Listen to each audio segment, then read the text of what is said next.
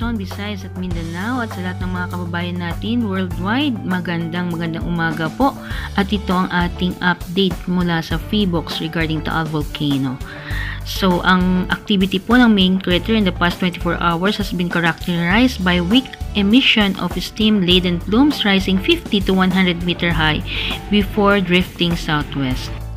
We still have sulfur dioxide emission and it was measured at an average of 105 tons per day on February 10, 2020. The Taal Volcano Network recorded 87 volcanic earthquakes, including one low-frequency event and two harmonic tremors having durations of 1 to 3 minutes.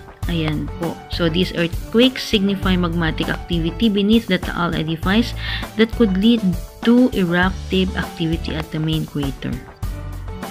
Alert level 3 is maintained over Taal volcano and the UST FIVOX reminds the public that sudden steam-driven and even weak phreatomagmatic explosions, volcanic earthquakes, ashfall and lethal volcanic gas explosions can still occur and threaten areas within Taal Volcano Island and nearby lake shores. Enjoy the view of uh, Taal Volcano in the area of San Nicolas, Batangas. Yan po ay kuha ng ating kaibigang si William Enriquez. Maraming pong salamat.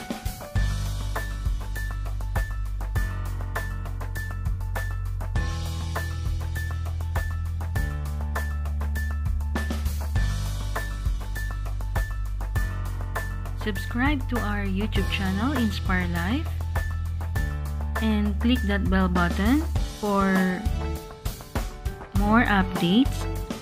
Like, comment below, and of course, share this video. Yan, napakaganda po ng tanawin ng ating uh, mapayapang San Nicolas, Batangas. So, in the midst of every crisis lies a great opportunity. Yan po ay kay, galing kay Albert Einstein. So, um, pumayapa po tayo. At yan ang Mount Makulod. Makulot. Ang ganda po. Ayan. Sa Cuenca, Batangas po yan. Subscribe! Handa at ligtas ang may alam. Agham para sa tao.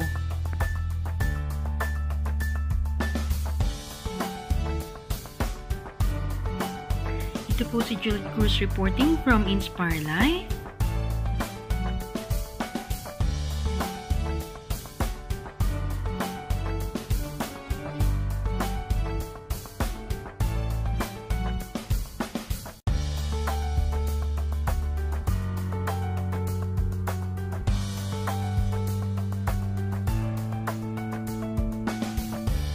Ito po ang Inspire Life, your bridge to your dreams and aspirations.